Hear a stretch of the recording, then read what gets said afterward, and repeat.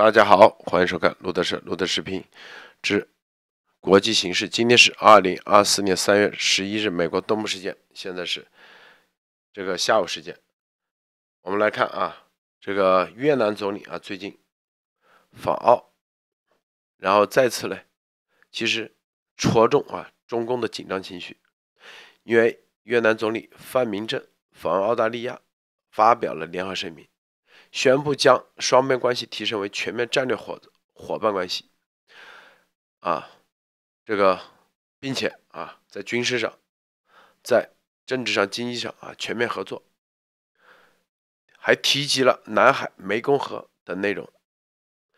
这个毫无疑问啊，这是越南要摆脱对中共国的依赖啊的一个进一步、进一步啊和西方国家建立更加紧密的关系。的一个重要的啊一个举动，很多人说越南啊会不会是吧？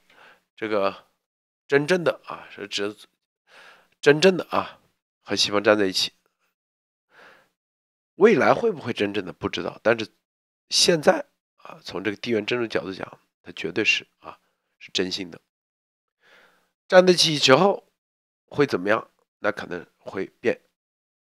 变脸色啊，因为共产、共产、共产国家都这样，但是现在啊，绝对是要和西方站起，要对着中共国围剿，这是毫无疑问的。因为这个黑帮国家相互之间啊都是不信任的，就跟中共当时啊对着前苏联一样，说越南也是一样，是不是？虽然啊可能觉得越南不够大，是吧？所以好像杀伤力不够。那中共那时候也是很弱的，弱的已经不行了，穷成啥样？一九七二年的时候，跟苏联比，那基本上啊，那整个产业工工就是工业产值以及啊这个工业化程度，可以忽略不计啊。跟苏联比，各方面无论军事装备、核武器，那不照样啊，让成功让苏联解体。所以，西方啊，美国是啥？美国就是地缘政治是第一位的。至于说啊，就暂时这段时间啊，这个时候，越南是绝对对啊中共打击中共、围剿中共是有利的。所以啊，他就拉到你到圈子里来，进入西方的这个圈子里头。那越南肯定愿意啊，谁不希望？过更文明的日日子，之前被你天天中共压着，现在直接可以建立战略合作伙伴关系，那肯定愿意。所以，中国很紧张。中国外交部发言人说：“啊，美国在搞阵营对抗，拼凑排他性小圈子，违背时代潮流，是吧？不符合地区国家共同意愿，觉得是美国啊在这里故意拉拢越南啊，越南来对抗中共国。”还意思是啊，这个不能成功。林女士你怎么看啊？分享一下这个事情。嗯，现在觉得人跟人之间，每一个人都是呃互相尊重，而且是平起平坐的这种交流。那整个国与国之间也是如此。所以，当一个呃国家它能够被尊重，而且它可以去主宰它的。所有自己国内的这些资源，然后他怎么样去运用在整个呃国际的这个地缘政治当中？他把他自己的这个资源当做是一个筹码，可以去跟其他的国家做交流，或者是说可以谈判，或者是说进一步的合作协力提升他自己在本国的这些呃技术呃经济或者。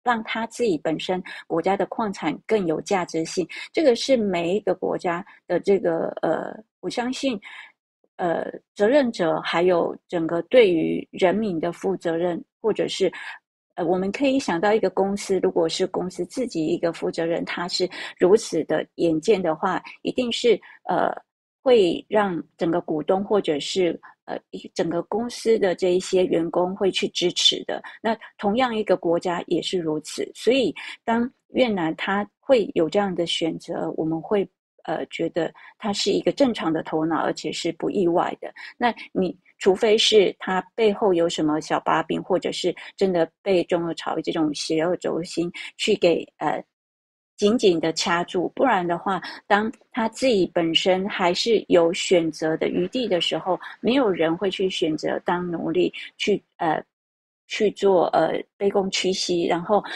被是呃，完全是怕呃压着，呃被迫执行什么样子呃配合呃这些邪恶轴心国去做邪恶轴心国所要做的目的，而完全没有考虑到呃相对的这些国家呃配合的这些国家的利益。但是我我们可以看到，美国在跟全球的这些同盟国互相在呃做联系的时候，它最好。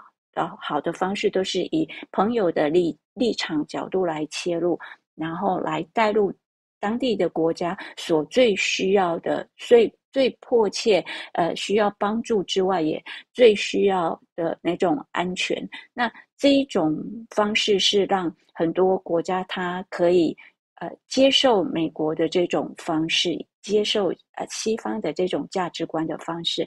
所以当整个呃，国际潮流是往这样子的趋势，呃，每一个同盟国，它在跟美国结盟之后，都能够获得最大利益的时候，而且可以展现他自己国家的这个呃本身的优势的时候，我相信是没有人会去选择一个呃邪恶的国家，然后来呃。束缚自己，然后让自己活在威胁当中。其实每一个人可以做选择的都是这样子的。所以，当我们看到日本、菲律宾、韩国这一些国家，它的呃最近这么短短的几个月的呃翻腾，呃，可以看到日本它在呃过去三十年的这个股市的呃沉沦，然后到现在的这种经济的崛起。在短短几个月，呃，跟美国的这种呃战略同盟越来越紧密之后，然后也因为美国的这个呃开绿灯，让日本有所呃在军事方面，然后在经济呃各个领域、科技领域、太空领域都能够开放的时候，你看日本所展现出来的这个整个国家的生命力，从股市就可以看出来。所以越南它。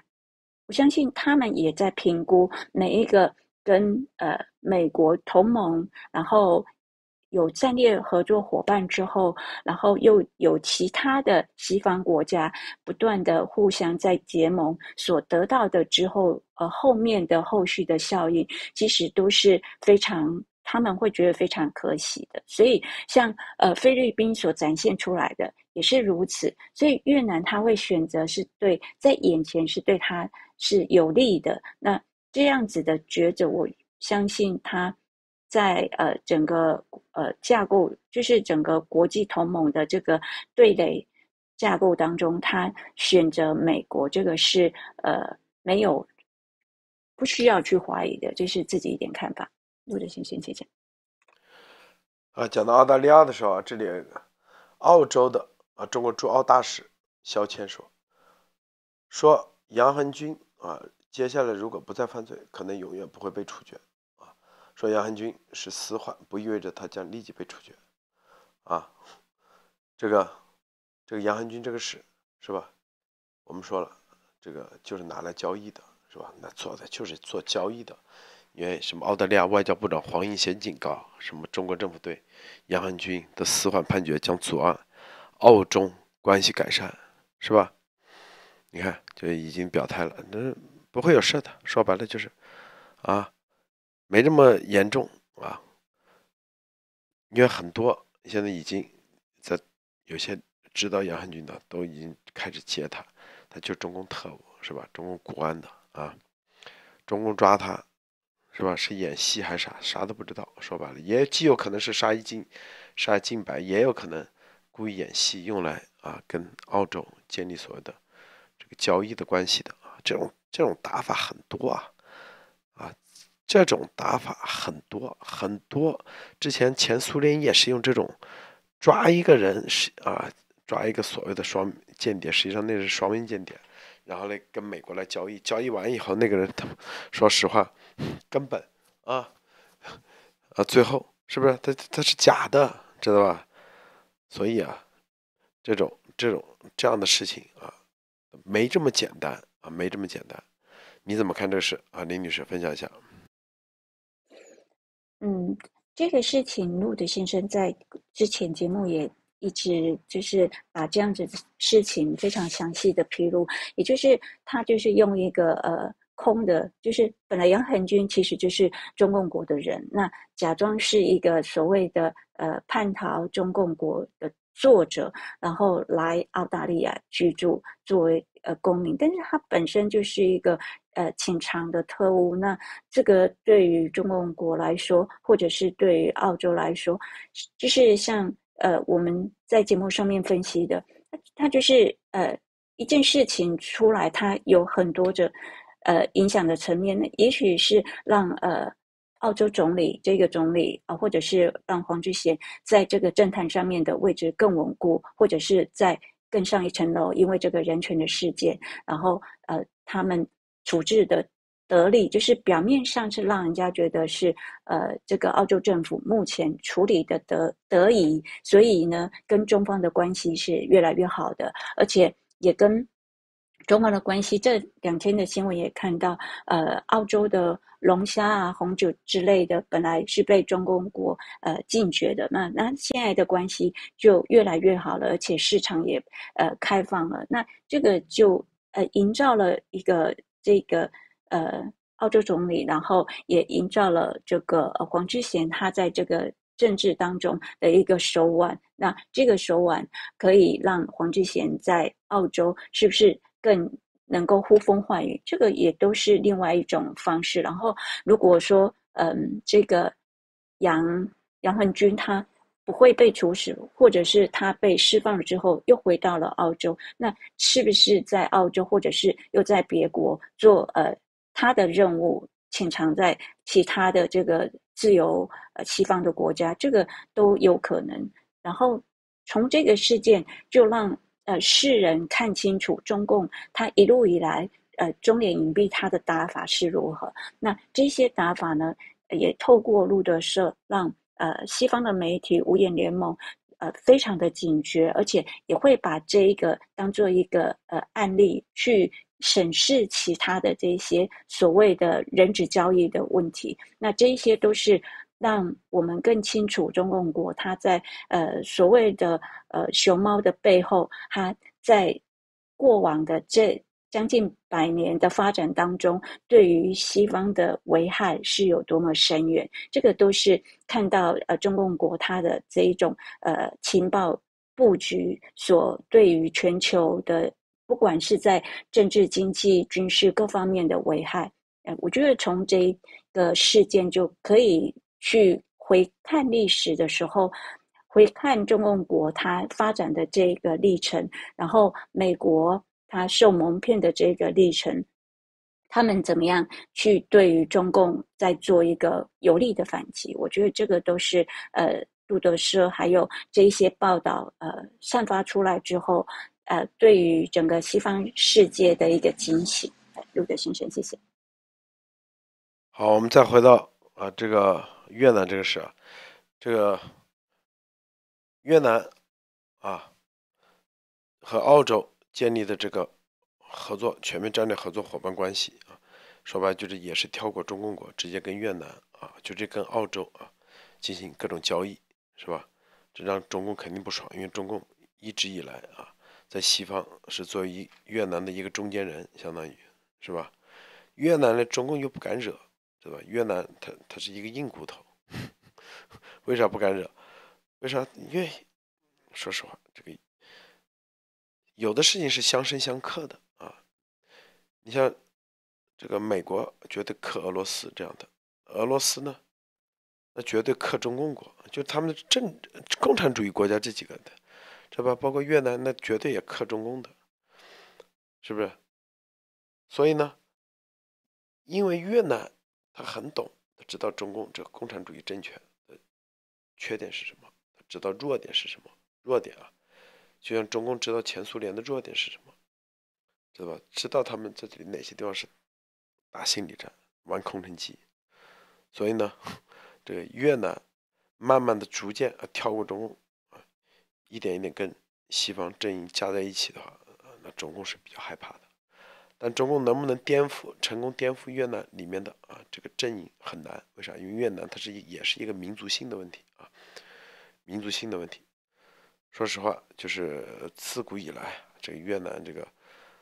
这个对于这个中原王朝、中原政权啊，一直以来，那都是啊，是一个对抗、对抗的一个阶段，对抗的一个过程。